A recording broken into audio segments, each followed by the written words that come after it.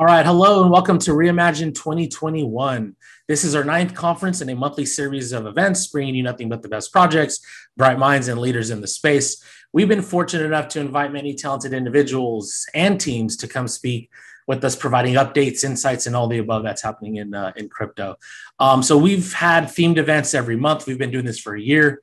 Uh, we've had What the Fi is DeFi. We've had Tales from the Crypto, Happy Hodl Days, Happy Hodl Days, NFTs um, and everything in between. And so we're super excited on our ninth event, going pretty strong. Very fortunate to have guests come and, and, and support us here. Uh, so the theme of this conference really is around Game of Chains, Battle for the Throne. And ultimately, it's a concept like there's so many blockchains out there the pros, the cons, you know, the communities, the advantages of developing on one or the other. And we're going to highlight that today. And, and today we're, we're actually um, supported by Algorand. Um, they've been, you know, a supporter of us for, for a while now, and then they're sponsoring this event and not only this event, this panel. And really, the funds go right back to our university program and the production quality of this to to bring this to our viewers and audience internationally. So I'll be your host today, Adam from the MouseBelt team, where we focus on early stage investments to our accelerator and providing development support to a number of growing projects, as well as education within the university within the MouseBelt University program. Um, our main objective and goals are pretty simple, simple and straightforward. It's increasing adoption, use cases and real world applications. So I'll go ahead and stop talking because uh, I feel like I've been talking too much already. Uh, let's go ahead and uh, introduce our, our panel here super stoked to, to, to have you guys participate. Thank you for taking time out of your day. Uh, Erin, we'll start with you. Um, thank you for joining. Give us a little intro on, on, on your uh, spot in crypto. Hi, Adam, and thanks for having me. Uh, my name is Erin Jackson. I'm a product management lead um, for Cantina Consulting, an innovation and consulting agency in Boston. And by way of Reach and Algorand, We've been spinning up an NFT marketplace product that we're happy and excited to release um, in the next month. Awesome, awesome. Look, looking forward to t- chatting about that during this discussion. Thank you for joining, uh, Addie. How you doing? Uh, thanks for joining. Give us a little. Yeah, intro. thanks for having me. Um, hey, I'm Addie Wagenknecht. I'm uh, the director of ecosystems and technical operations for the Algorand Foundation. Um, I look at everything from project viability to um, technical deployments, and NFTs. Awesome, awesome. What's going on, Chris? Uh, how you doing? Thanks, thanks for joining. My pleasure. Um, my name is Chris Swenor. Uh, I'm the CEO of Reach. Uh, Reach is Reach's mission is to actually uh, simultaneously lower the bar of entry for developers into the blockchain space, but also raise the potential for experts because we don't we don't want to just make it easier for developers to come in and you know build toys, um, we also empower experts to actually build things better than what we've already seen. Awesome, awesome, and and uh, everybody's touching on something that's very critical. Addie ecosystem growth, super important. Developer relations, super important. Chris, making sure that you know the resources and tools are available and Erin, you know, applying it, using it, building something, um, and kind of this the, the pace of innovation, right, is, is, happening so fast. So, like as I mentioned in the intro, um, we have a lot of uh, base layers, layer ones, layer twos coming on, and not only that, the, the, the ecosystem projects that are building on that network, and we're we're highlighting, you know, what the decisions made to choose one chain over another and there's a lot of you know variables involved. But for this specific panel we're all kind of developing on algorand. We'll love to kind of get your thoughts here. We have viewers tuning in students uh, developers like exploring what chain to develop on like why the purpose um, and there's some chains out there that have hurdles and, and, and challenges. Um, anyway so let, let's kind of educate them. Um, let's start with uh, Addie. I don't know. Let, us go to some of the key, I don't know, benefits to develop on Algorand or like what what do you think drives your user base to come to Algorand? I know, you know, you guys don't compromise on security, decentralization, like scalability aspects. Um, from your perspective, like what does Algorand offer? I mean, so I came to Algorand from another really established layer one, and what drew me to Algorand was the research teams and the product teams are thinking five to 10 years ahead, where other chains are thinking very much about now and they're reactionary. Um, our cryptographers and our researchers and our core developers are really thinking about the implications of, um, you know, post quantum computational is- issues with cryptographic hashes and kind of these larger long-term questions that will really make or break the sustainability and the scalability of a chain. So i was quite impressed by how forward thinking they were. I think from a developer standpoint um, chris can chris and or erin can probably speak to that more but um, definitely our developer documents are really clear. We have a really robust discord uh, community that's pretty much always around to answer questions uh, and we have multiple SDKs to build out on, which is really great. I came from a chain which was primarily developing out on Rust, so everyone had to learn Rust, and and here you have the benefit of you know multiple different SDKs to choose from. Awesome, awesome. And what are your thoughts, Chris? I mean, you're working pretty close with the onboarding, and, and one of my questions, and maybe we'll just maybe it ties into it. It's like how do we onboard developers, right? Like we're, we're trying to get uh, Web 2.0 devs, you know, existing devs into the space. We have people looking at career changes, trying to get into the space. We have developers, in general, developers are very experimental and want to like challenge and build things and, and, and go after it. Um, so what are your thoughts in terms of like some of the key benefits to developing on Algorand? Yeah, so it, it's it's a very interesting question, especially when you look at reach and Algorand. Um, the reason why I say that is that my belief always is what what protocols are good at are the the speed, the security, the decentralization, and that's what they're really really good at. Um, what they shouldn't have to care about is onboarding developers. They should allow for um, developers to be able to just choose which consensus layer, which protocol actually best fits their needs. Um, and that's really what Reach's uh, goal is, is that we want to actually even the playing field so that a developer can actually learn Reach and then choose whichever platform is the best for their product. They they shouldn't have to worry about learning a new platform. They shouldn't, like Addie said, they they shouldn't have to learn Rust or something else. So they they just know one thing and um, through a configuration change, they launch on whatever chain they want. And that's what Reach provides why the actual excitement uh, with actual the partnership with the integration with Algorand is that um, the thing that they really excel at is that consensus layer, is that that network layer, um, and now because of the Reach partnership, they don't have to worry about building an amazing onboarding um, platform because we can handle that. So now a developer can come in, build on Reach with all of the tools that we, um, I mean, I, I believe, and what our developers have already said, we've solved the, the problem with, with onboarding to blockchain. Um, and now they can launch on one of the best, if not the best, uh, consensus layer without having to worry about any type of hurdles or hoops to actually jump through. Um, so it's kind of like a the way that I look at it is that the it's there's a blockchain stack involved, and the the protocols that are trying to actually take on the entire stack, they don't. There's not enough people in the entire world. So um, I, I, see it as a layered thing where we'll take our, on the onboarding, and then the consensus layers, the protocols, take care of providing the the features that that are truly needed.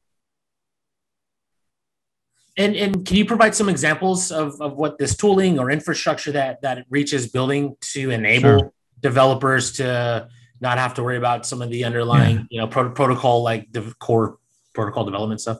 Yeah. So traditionally, when you like ignoring reach, uh, when you're a developer, there's a, a big hurdle to when coming over to the blockchain space. Number one is decentralized development rather than centralized. So it's like there's a lot of distributed computing that you kind of have to wrap your head around. But the other thing is you have to know, know how to build a state machine. Um, traditional developers really don't think at that low level. Um, and by thinking at that low level, there's a lot of things that that developers take for granted that um, if you don't remember, you will fail. You will leave a hole in your application, and people will take all of your your money and all of your users' money, and you will go cry for the rest of your life. Um, that is the the current situation with blockchain development. What Reach does is it it provides a programming language that is a higher level of abstraction that takes care of all of the nitty gritty things, all of what we'd like to say the boring things that you really shouldn't have to care about. You should have, all you should have to really care about is what you want your application to do not make sure that you satisfied every timeout condition and um, every runtime verification and um, everything of that that sort. You should just, as a developer, sit down, write your application, hit compile, let the compiler tell you um, how many holes are in your application, and just go from there. you shouldn't have to get your PhD in computer science to be able to uh, to program your application, and that is the situation that currently is out there with blockchain.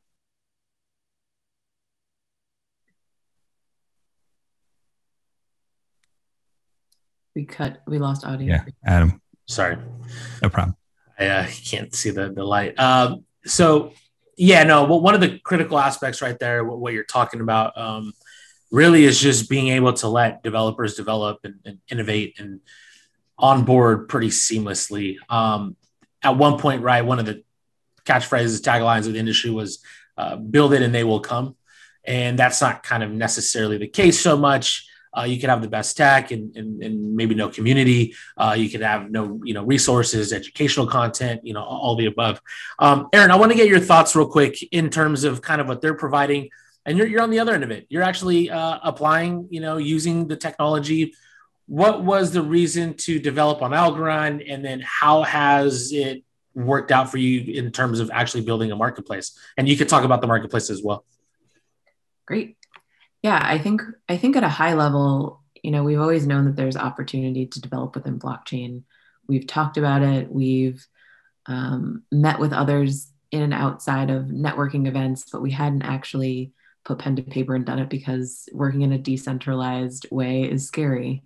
And so he said, How do we continue doing this? And when Reach brought the prospect of working, you know, with one kind of domain specific language, um, being able to deploy and test very easily, that sounded like something that was more um, amenable to us. It's, you know, a, an approach that allows for a little bit more research rather than you being an expert. And that's really when you're working in the short term and you're working in little bites and pieces, that's something that's a little bit easier to chew. Um, so, from our perspective, it was kind of a no brainer. Let's test this out, let's try it. And the more and more we get into here, um, we're able to see those holes and see the things that you know we're not great at. But I think I think every day we're kind of plugging those holes and building the things that we need to be building. And right now, that thing happens to be a marketplace. And we started with that um, mostly because there just weren't, um, from what we saw, a whole lot of competition on the Algorand blockchain. And we saw that as an opportunity because, um, as Addie had mentioned, Algorand is super forward thinking. They're building this in a very sustainable, um, you know, measured way. And we said, instead of talking about this, why don't we build this? And instead of it being you know a large investment up front and tons of over oversight and overreach um, it seemed like something that we could actually break down into smaller phases of work um, and do immediately rather than think about this as a one two three year plan um, so right now we're building this marketplace. We literally have just started this conversation in the spring and are releasing a marketplace in the summer. And i think all of that has been possible. Um, one by the way this this really great community and i have to say that i haven't been as deep in the community as i am right now but the willingness for everybody to talk with one another to invite people to discussions like this has been really wonderful.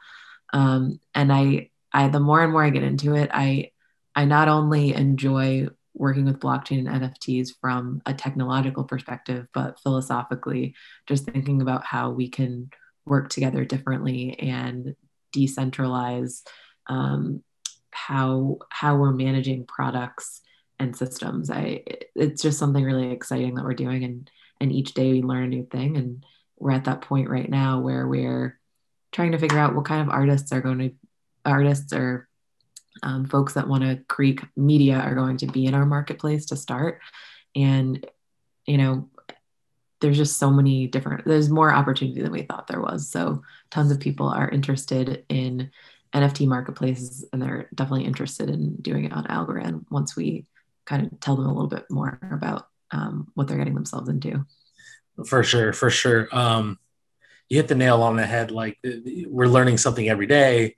You guys just you know pick this up in spring, and here you're already launching a marketplace. And that's kind of like that kind of goes back to Chris, like the infrastructure, like what's available um, the resources available to, to get going. If you're non-technical, even if you are technical, um, you know, you can learn about it pretty quick and, and, people are experimenting, which is kind of the name of the game right now. Um, what I'm, what I'm catching here too, which is going to lead into my next topic here is, is, really community, right? I'm talking with Addie from the Algorand team. We're talking Erin over here, consulting firm uh, that's leveraging the technology. We have Chris over here that's partnering with with the protocol itself. How, uh, Addie, I'll kick it off with you. Like, how important is community to to Algorand and, and not only Algorand, but like its global growth, right? And that could be a communities of stakeholders, that's developers, um, you know, the team, the the the token holders, whoever the whatever the case may be. Um, at one point, like I said earlier, like people think they could just develop a blockchain. Yeah, anybody can build their own blockchain, but like are, are people going to use it right is there support there how important is community to algorand um, and i can tell just by this panel right that that it's pretty strong robust and, and you guys are are engaging the community in a variety of ways so maybe you could touch on on kind of how algorand views that and, and community growth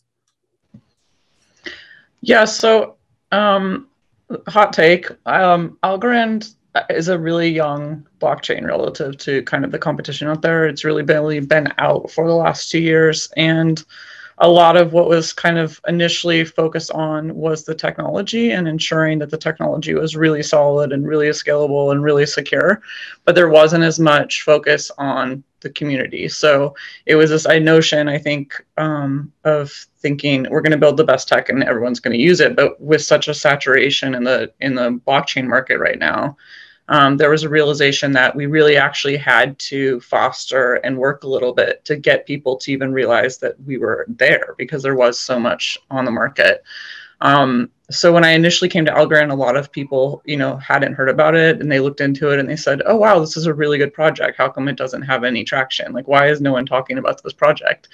And um, we spent really the last year focusing heavily on developer outreach, educational outreach, academic outreach, good, you know, um, really strategic hacking hackers hacker spaces and hackathons and accelerators that are strategically placed. And we've brought in uh, community ambassadors and developers. And you know like erin said um, with the nft space we, we've just recently started to develop the standardization for that. And we're trying to i think move in parallel with the community rather rather than being behind it or in front of it but rather working collaborative, collaboratively with um, developers who are you know deep into our ecosystem and key stakeholders and investors and everyone else kind of across the gauntlet and really looking at it from like a um, all-encompassing sort of taxonomy approach of of looking at it and working with people and using that feedback and having AMAs and you know we're trying to make it not this read-only experience but something where people can contribute and actually see impact within the chain and the ecosystem. Totally, totally, and yeah, those all play critical. Critical. There's a lot of moving parts there, um, and it seems like you know you focus on the tech aspect to deliver something, and then and then in parallel, right? Then once it's ready, like engaging the community because again, blockchain is a peer-to-peer thing. it's a community thing. It's engaging, like proactive. A lot of meetups, you know, tech events, discussions. Chris, so you're kind of in the developer space, like you know, you obviously are working with uh, with Algorand Foundation and, and their team overall. You know, how important from a developer standpoint um, is community? And, and you guys are obviously tackling some of that, right? Being able to onboard is is crucial to get more DApps, more more use cases, more applications. So yeah, what's your perspective in terms of, of community for like global growth and the importance of you know, especially around, in in blockchain? I mean, one of our company values is that um, without the community, we don't exist. Um, so we want to make sure that we are building things that people use, not building things to just be really smart because we have really smart people on our team and building an amazing piece of equipment that nobody uses is, is pointless no matter how great it is. So community is number one and most important thing. Um, one of the let's let's talk about the community a little bit in the actual the crypto space um, and kind of go against with what Erin said. I think the community in general in the crypto space is horrible. Um, I think that it's extremely toxic. I think that uh, crypto Twitter is a cesspool of people waving their flags. Totally. And if you tell me that I'm wrong, you're wrong. I'm sorry. Go read crypto Twitter. it's horrible. And the reason the reason why it's horrible is because they're incentivized to be horrible.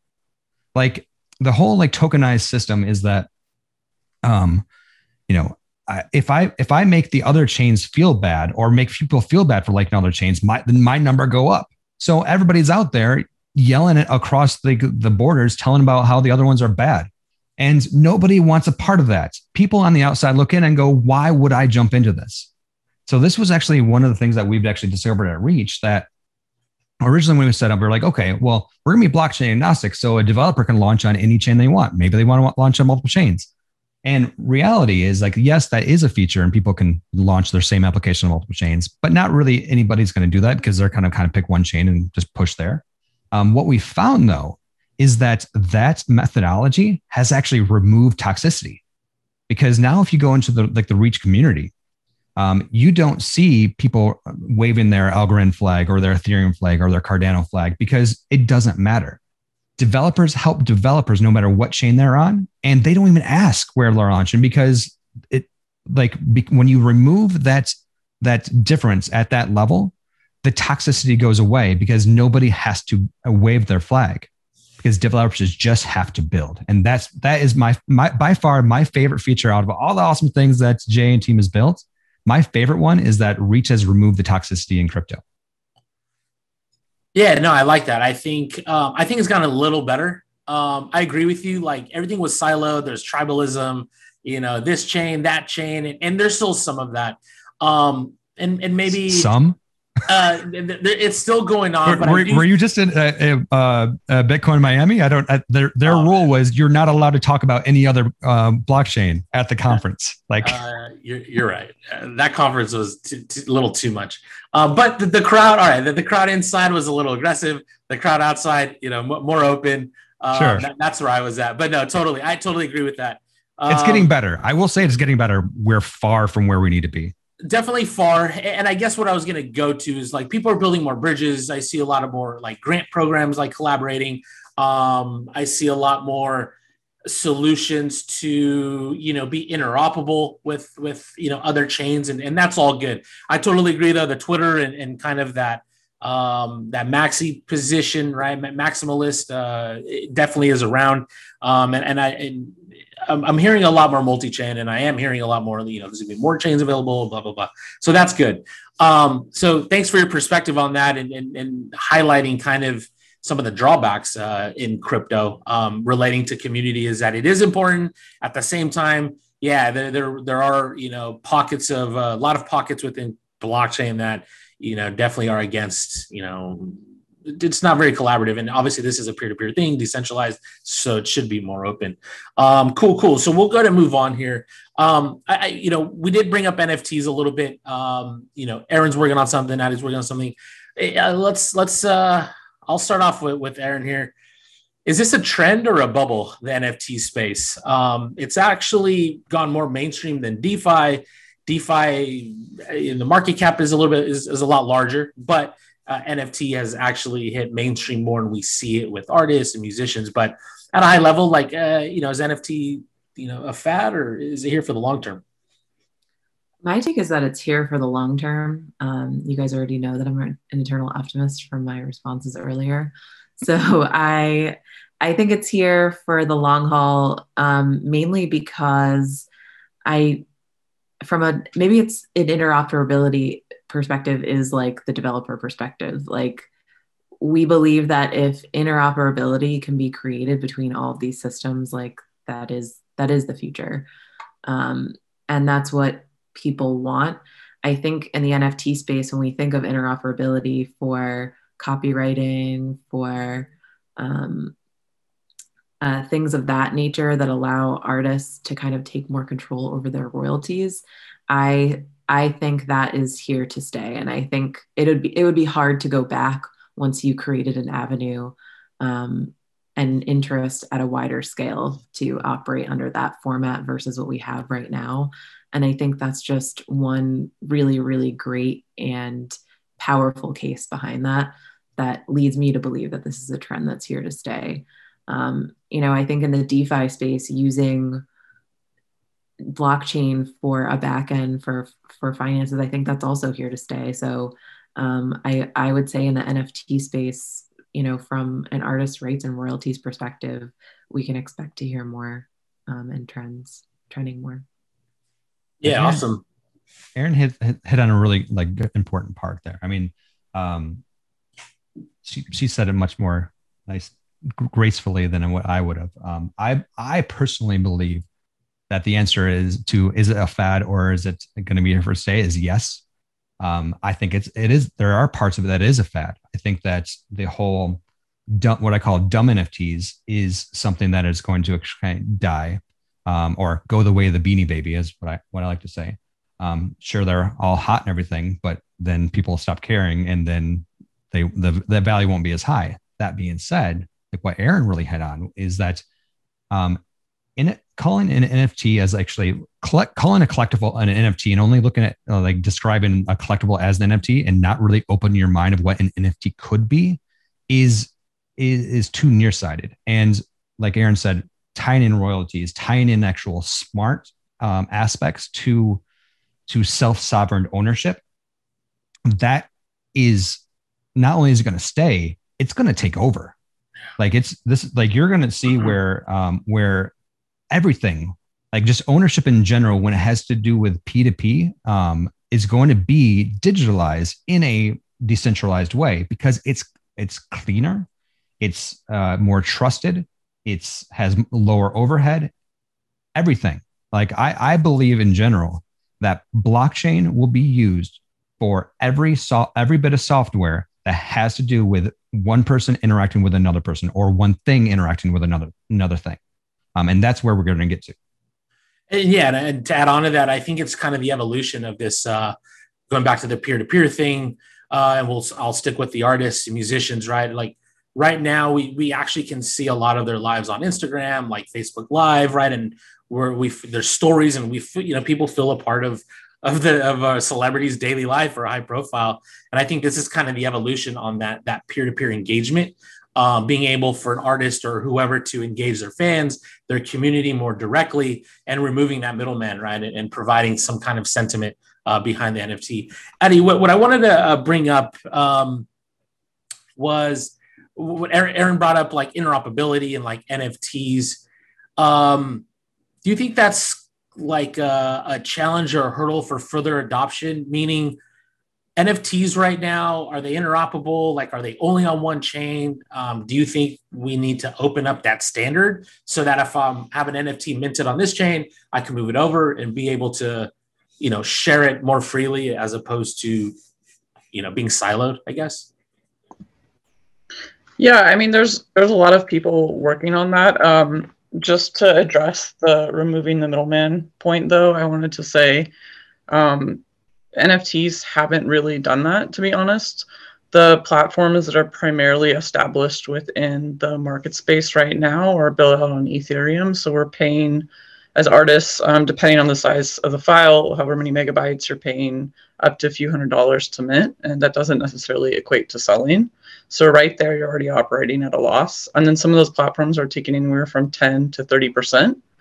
And then if you're represented by a commercial gallery that's in the physical world and not the metaverse, um, they want their cut too. So then you're looking at them wanting another 30 to 50%. So it's really not disrupting anything. Like from a traditional artist perspective, if anything, it's just it's another platform to sell your your work, but it's not necessarily democratizing it. The same artists that are doing well with NFTs were doing well before with commercial sales.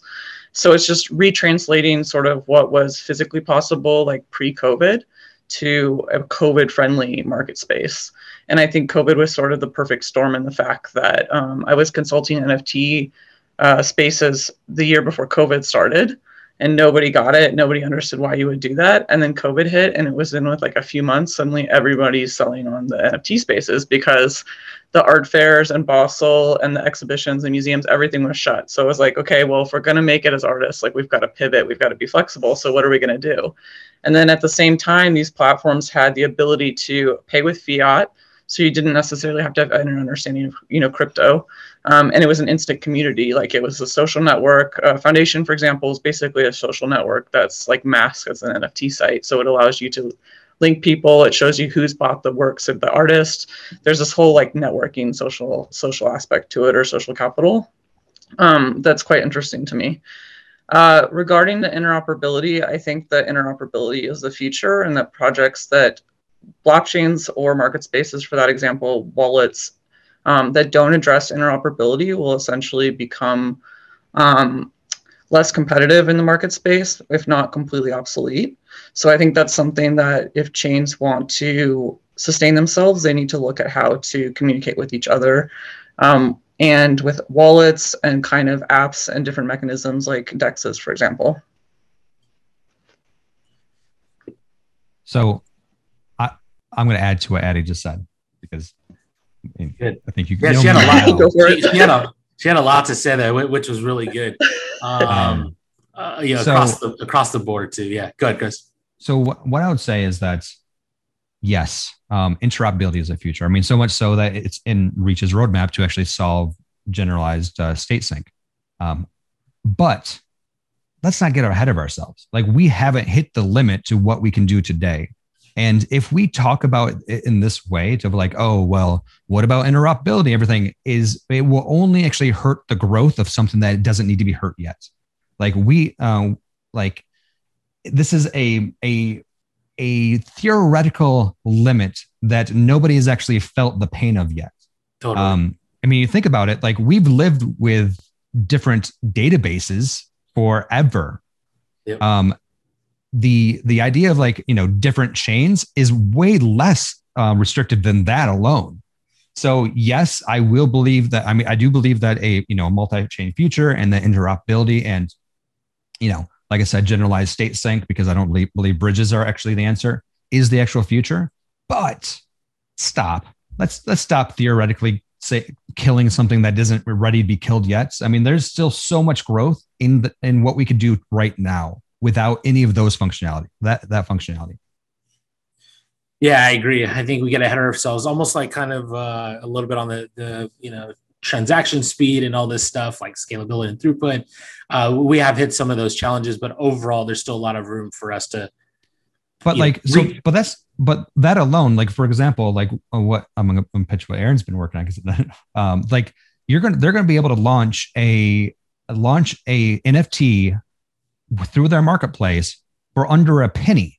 Yeah, Like, we're not talking about hundreds of dollars. Like, this, this is not, this is not something that's like, like, like the way that, um, you know, the current, like the, the lazy minting thing was only a band aid like and it's a band-aid that's is like is looked at as a feature now but it's only a feature when it costs you know hundreds of dollars to launch you know with uh with erin's nft marketplace when you can launch for a for under a penny who cares really uh if you if you'd sell or not? I mean if you don't sell it it's now just transferred to yourself. And now you have ownership of it and you can give it to your grandma if you want to i don't whatever you want. Um, do you think kind of the NFT, this NFT space is like another ICO wave? Like, is it just another vehicle you think to raise money? Um, you kind of mentioned it earlier a little bit, Chris, in terms of like, I don't know, the risk still associated. You know, if you weren't a top selling artist before, an NFT is not going to get you there. So that might, you know, I don't know, have have some drawbacks there. But um, yeah, so I think like, I don't know. What Erin on your side, like, who are you guys trying to target i guess uh, w- with this marketplace and how has it been going so far? Uh, you guys are right in the thick of it. Um, you know you just started doing some research and r&d this past spring and now you're building it out. Um, you know who are you guys targeting? Like i kind of you mentioned a little bit on artists or musicians. Like is this an open platform for anybody to, to join and, and launch and, and sell buy and sell? To start, this is an open platform for any anyone to join. Um, we're complete opportunists. We are, you know, searching in our own network at some sometimes just the people that we come across in the blockchain community, and um, just kind of seeing what fits to start. And then the hope is that over time we kind of refine um, what that might mean, or we keep it everyman. We're just we're learning as we go. So um, we we're trying not to do anything too hastily, but we're starting wide, and then I think our goal is to kind of refine and narrow from there. And you, and you guys are a uh, advisory firm. Do you guys get clients like talking about NFTs or tokens in general? And what what are you seeing kind of because you're a general tech advisory firm, right? You guys do quite a few things, quite a few things internally. So what's kind of the discussions happening uh, inbound from clients, you know, interest? I think we're seeing a lot of curiosity. I think people are almost a little surprised that we're working on blockchain in some respects. Um, and they want to know more. They're curious about it. I think, yeah, there is this perception in some respects that it's kind of the wild, wild west and it can be toxic and it can be dangerous. And so they're wondering why we're taking these tasks on. And, you know, our answer is, you know, almost the same as everything that we do. It's it's research. Um, we'll never truly know the bounds of it until we get started and get our feet wet. And sure. We're complete opportunists and came have come upon Reach and have built a relationship um, with Reach, and it seemed like a way to tip, dip our toe into something without putting in a huge, huge investment. And here we are doing this experiment with Algorand, not compromising our own. I tricked you, sucker. say say more. I, I tricked you. You're in. We're in. Um, yeah. You know, I'm really enjoying it, um, mostly because I don't. You know, there may be. You know, there's tons of things that are you know come to mind, not safe for work, uh, potentially nefarious. You know, financial behaviors and things like that. But that that really existed everywhere and everything that we do, and we've you know had to kind of walk around that and, and come up with a way uh, to make this accessible and valuable to everybody. So we look at it as a research and a ux problem um, and we're not necessarily looking at it as an ethereum or algorand or other blockchain problem. One, one thing that i wanted to bring up and, and add in maybe i'll get your perspective too chris was you brought up metaverse and like physical world. Where does NFTs fall in line there? Like I've heard people say like they believe NFTs is like native to the internet um, and shouldn't really be applied to the physical world.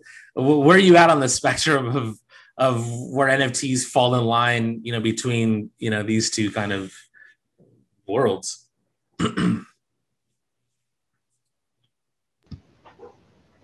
Am I starting? Or? oh, sorry, yeah, yeah. Well, you had brought up meta- you had brought up metaverse. I want to hear yours first, Addie. Yeah, you had you had brought up metaverse and physical world, and I've had other discussions, right? And and I've had people say like, uh, this is only like a, a an internet native uh, concept, right? As opposed to real estate or or applying it to art. Um, anyways, so maybe what are your thoughts there in terms of like where NFTs fall and is it a hybrid? I mean, can it be used for both? Um, I mean, I think from an artistic perspective and sort of an internet life main perspective, um, when something new is created, it's often resisted because there's not necessarily a language to describe it or contextualize it. So initially, metaverses were used, and for people that don't know what those are, they're like 3D online environments that you can build. Um, think like Minecraft, you can basically build buildings and, and place objects in those. And you can, and a lot of galleries have done NFT exhibitions and, and metaverses. Um, but I, I see NFTs and metaverses for that matter being kind of like if I relate it to the web, it's like Pine, Mail, and the terminal. And there's this huge kind of future possible of like Chris was saying, smart NFTs, how NFTs are being used, what, you know, if they open access, if there's secondary functionality once you possibly buy an NFT, uh, from a creative perspective at least, um, royalties, um, circumventing the galleries. I mean, there's a there's a whole like model there that hasn't been explored, and I think because the primary market spaces that have sort of been adopted by artists and musicians specifically have been on one chain with that chain's limitation. And now it's just getting, you know, it's just getting to Algorand, it's just getting to Tezos, it's just getting to Kusama, like whatever other layer ones are that are kind of looking at NFTs and adopting them. Um, and that will bring a completely new kind of ecosystem and I think user base to some extent to the NFTs and the functionality of that. And that will also then, like um, like with Reach, it's going to bring in a whole community of developers who are then thinking about NFTs in a new way and in, in developing for new spaces. It, whoever says that they're not for the real world is silly, um, because like digital rep, like ownership exists in the real world today. Your title, copyright, trademark, supply chain, there's stacks of paper places that say who owns something in a digital world, but in a horrible way. Yeah. Like there's you have to pay lots of money in title insurance in the United States because they're probably going to mess up. Like like so to people say, oh, it's not, it's only for that.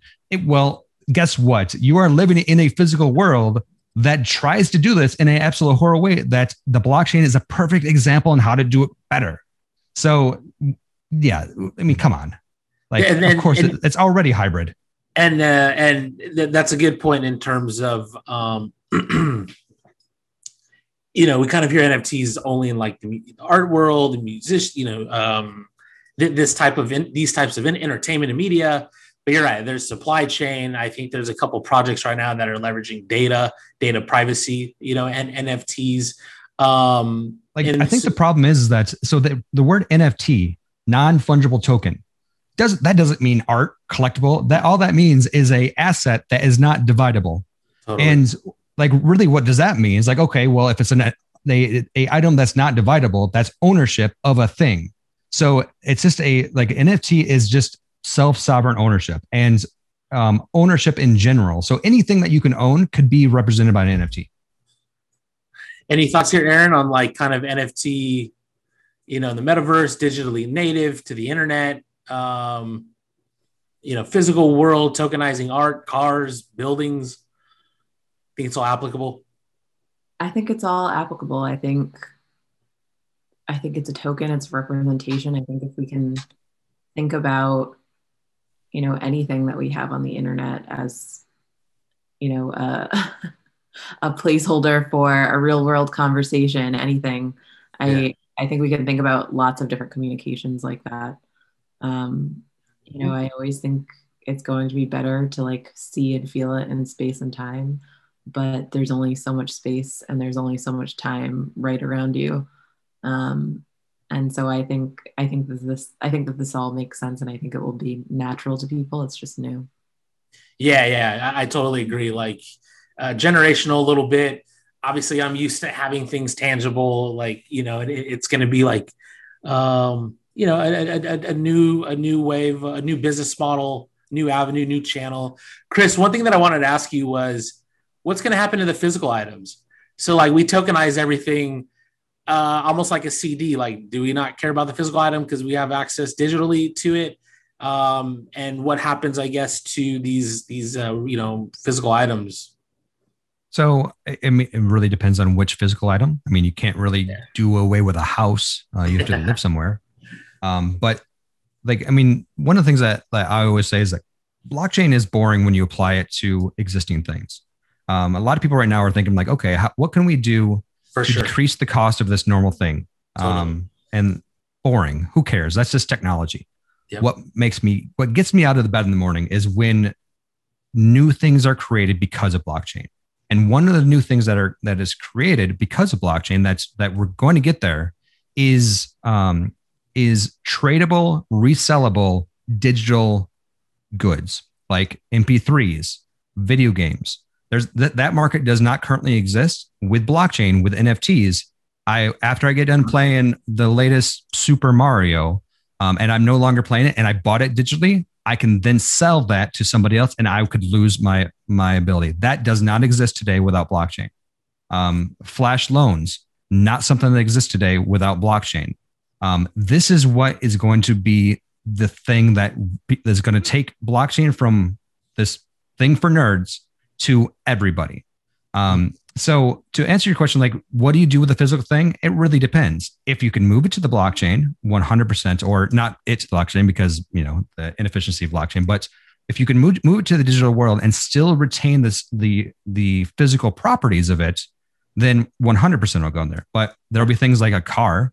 Um, but even, even like things like um, physical art, um, the benefit of, of putting a, a unique item on the blockchain that is a real world thing is sure it exists in the real world, but provenance, um, being able to actually uh, to have auctions to actually resale all of this stuff can exist in the blockchain and be tied to a real world thing. And like there are actually companies out there right now that are are specializing in ways to to tag physical items in a very unique way that can't be replicated so that you can actually bind it to the blockchain. So it really depends on like, so to, to summarize all my ramblings up, um, if you can replicate the physical properties of the thing fully digital, then it the physical item will go away. If you can't, the physical item will still be there, but it will still be an enhanced version of it because of the blockchain. Yeah. And you're right. I, have had a lot of discussions um, in terms of in terms of uh, yeah blockchain. Are we applying it to legacy and traditional systems and trying to innovate there? You know, maybe it's uh, maybe it helps, maybe it doesn't. But we the innovation is is still ahead of us, and right, and and we haven't even thought about like DeFi wasn't around, right? Um, and then a lot of these other uh, applications weren't around, like you said, flash loans weren't around. Um, and so, yeah, we'll, we'll figure out what, what the future looks like. We can obviously get a glimpse now. Um, two last questions. Um, Addie, I want to ask you a question. You're pretty involved um, on the like ecosystem growth and like projects and, and what are you seeing nowadays? Um, you know, we have people tuning in and we've all weathered the storm through ups and downs, you know, bear markets, bull markets, uh, all the above. And like ultimately, you know, during the, the, uh, the downtime, the, the, the bear markets, a lot of projects like become successful. You actually, even in, uh, in history, right. Your, your uh, Netflixes, your Ubers, right. They've all came out of, uh, you know, trying times, right? Like market downturns and a lot of the success. Your Facebooks, you know, all came out, raised money. What are you seeing kind of in the Algorand ecosystem in terms of uh, DApp development, startups, projects, the quality of teams? Um, I'd like to really just paint a picture, right, of, of what you're seeing on the inflow and, and uh, what people are looking at, what they're getting better at, and, and maybe can provide, you know, what, what, what you're seeing in the market. Mute. Amazing. Thank you. um, I think we've just sort of started to see a lot of NFT projects that have yeah. been signed and are starting to launch right now. So that's one of the first things.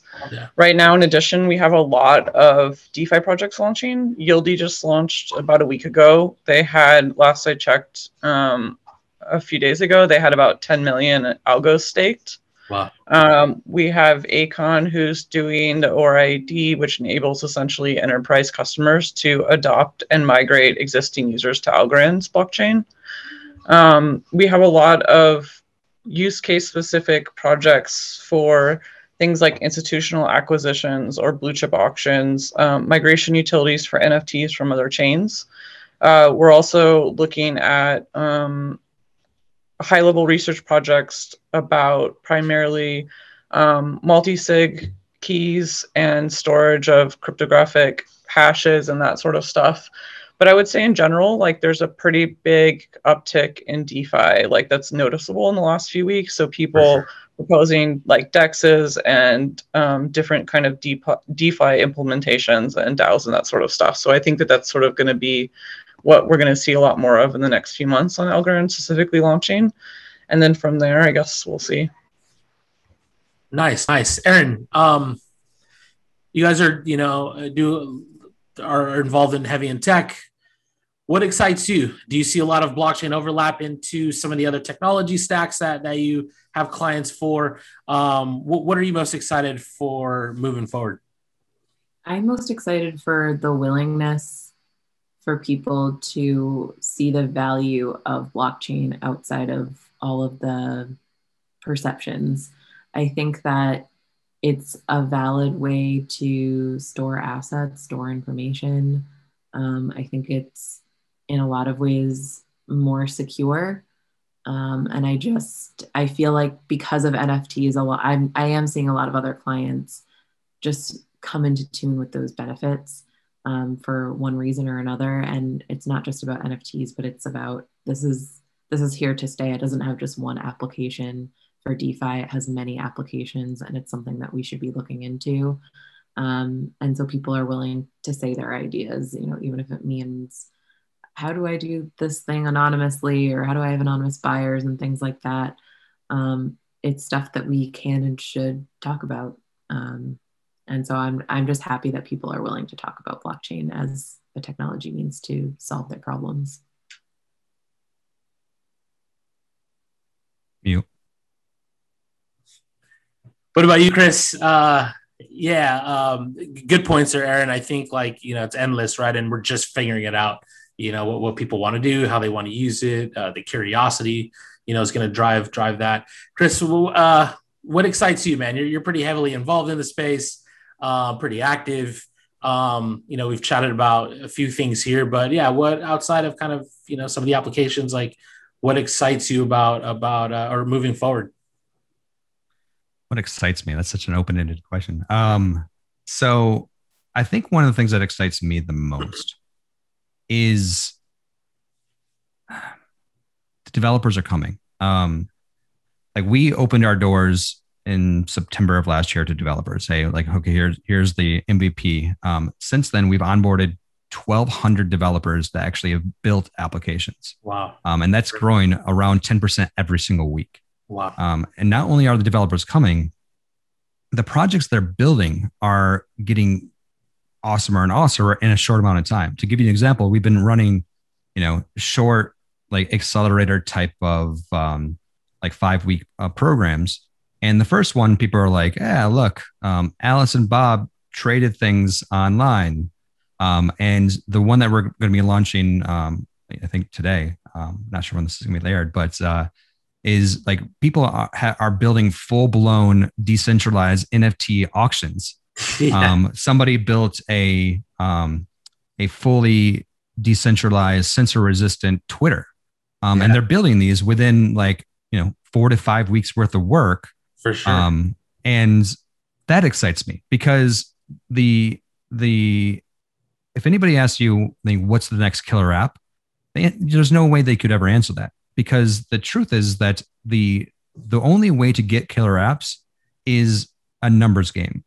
Developers throwing spaghetti at the wall sure. and seeing what stinks sticks. Yep. So you need millions of developers building things as stupid that we think like fart apps because the, the things that you and I might think are stupid, the rest of the world probably will think is awesome. And that's what we're seeing. Yep. Um, like, you know, thousands of developers are coming into the space now, building things that I think are silly but one of them is going to prove me wrong and take over the world. That's what excites me. No, I, I couldn't agree more. Um, you know, we had a development team, you know, years back, and like this is one of the the challenges at that time that we realized was the shortage of talent. And we knew like at that point, like, you know, let, us get involved now and like let's pivot and, and start building blockchain projects and, and products and solutions. Um, and here we are now, right? Like it's catching up and we knew it was going to catch up. And um, you know, for everybody watching, right, the internet was built on a bunch of protocols, and like now we can make a website in a couple hours, right?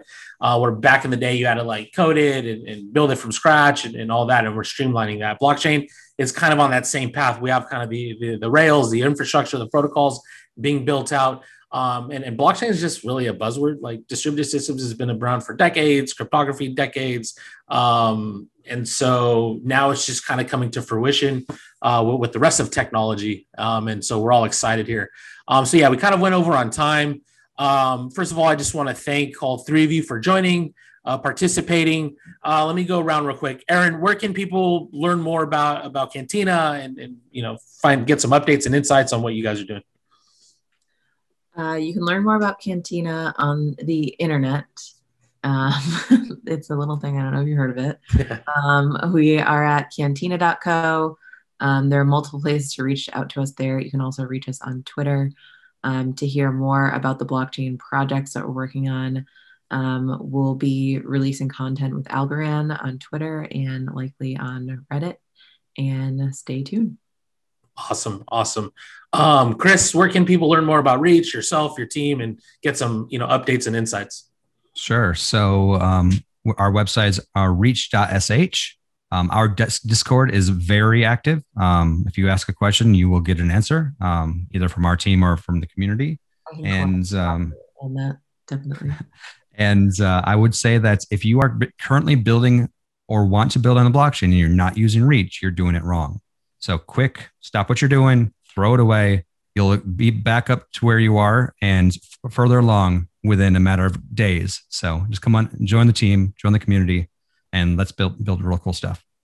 Awesome, awesome. Last but not least, Addie from the Algorand team, uh, one of our uh, proud sponsors and, and supporters of, of the conference um, which ultimately the funds get used to produce this quality of content. And not only that goes back to, you know, our student programs and all that. So Addie, where can people learn more about, you know, you, your team and, and get some more information?